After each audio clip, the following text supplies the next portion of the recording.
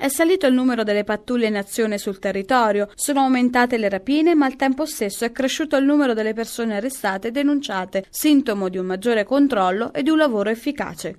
Sono questi i principali dati che emergono dal bilancio delle attività della polizia nella provincia di Ascoli nel 2007, presentato questa mattina in questura.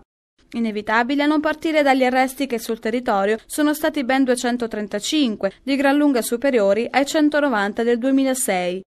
Le persone denunciate sono state invece 1329, mentre i furti sono saliti a 1111 rispetto ai 1087 del 2006, così come le rapine in banca che da 20 sono passate a 27. Sempre vigili il controllo degli agenti sul mercato della droga, quest'anno la polizia ha sequestrato 1,2 kg di cocaina, 1,4 kg di eroina e 205 g di hashish, mentre le persone arrestate per reati connessi al traffico di stupefacenti sono state 57, di questi 27 sono stranieri. Il dirigente della squadra mobile Fausto Lamparelli commenta così il maggior numero di interventi.